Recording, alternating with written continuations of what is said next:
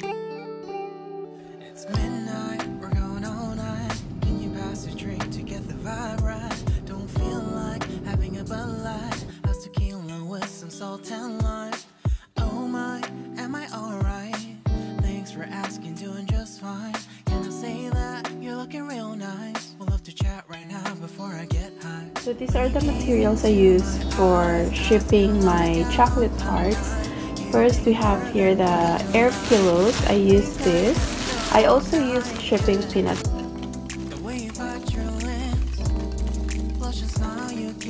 But for today I will just use this one. And then here the bubble wrap. This USPS priority mail and these are my boxes, the hearts that I'm going to ship. So I have more in the fridge, but we'll start with these two. And then of course, very important, let me grab it, the ice pack.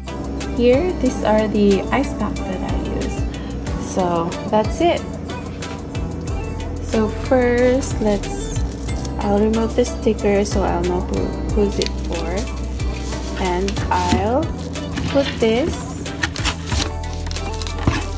and then from there I'll put one of our message card here. So they they know because it's really hot right now and it could melt. So we'll cover that with a bubble wrap it's really hard to it's hard, quite hard to take a video okay. And then this one. Okay. I usually put one on top.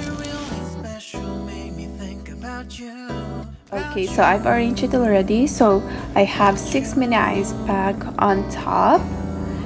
And then here I have three on the side and another one on this side. So I have air pillows here to make sure that the box won't move.